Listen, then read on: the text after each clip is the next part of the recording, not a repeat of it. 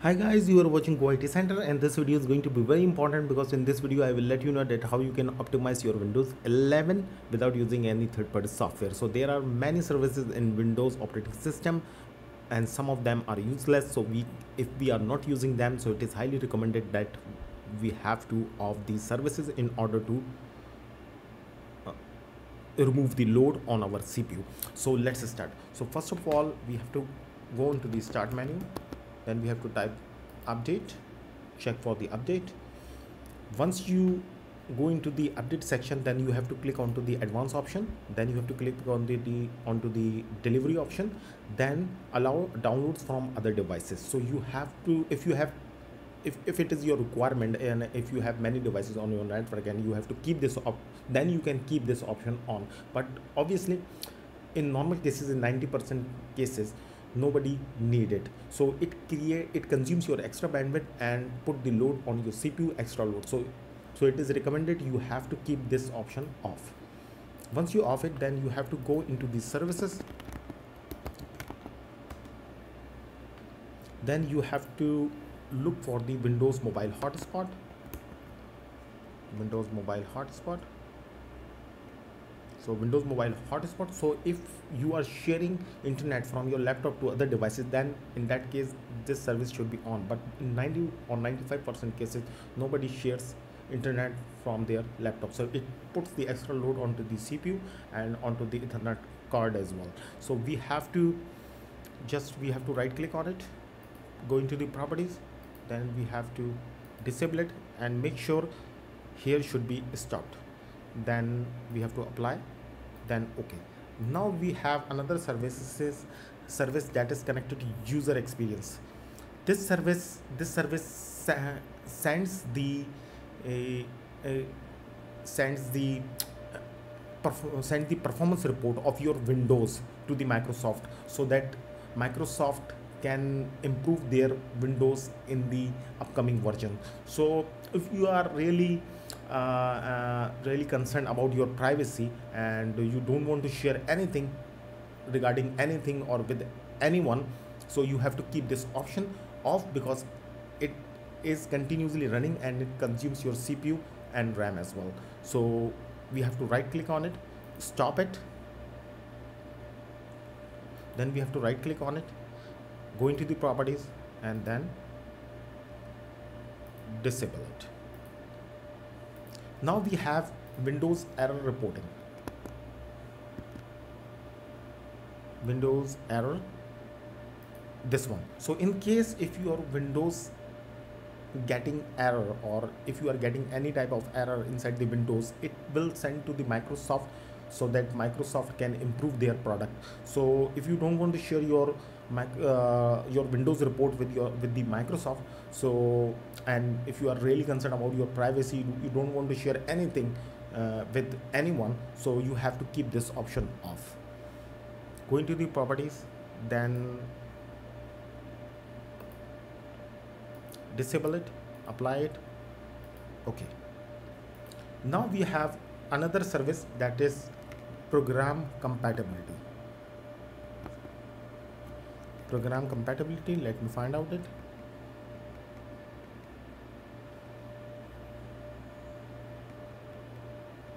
Mm -hmm.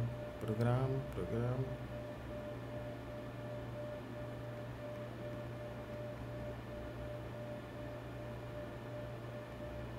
Pro program compatibility assistant. So let's say the function of this service is very simple that if you want to run on a very old software that is that is uh, that that is associated with the windows xp or windows 7 and you want to run that software onto the uh, windows 11 so this service supports you in order to run the application. But in 90% 95% cases in the modern world we don't use very old application because of the security risk and because of the vulnerabilities. So uh, in 90 95% cases we have to keep this service off. Because we don't need it it will put the extra load onto the CPU we will right click on it. Stop it. Once you stop it then you have to right click on it. Then properties. Then you have to click onto the disable. Apply. Okay. Now the next service is sysmain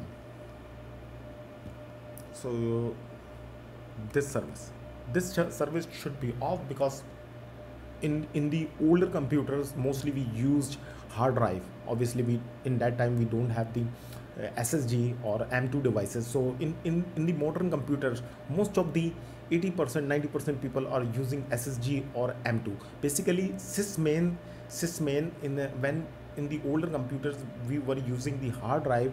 So sysmain plays a role in order to give little boost to the application so that it can be loaded onto the onto the hard drive very quick.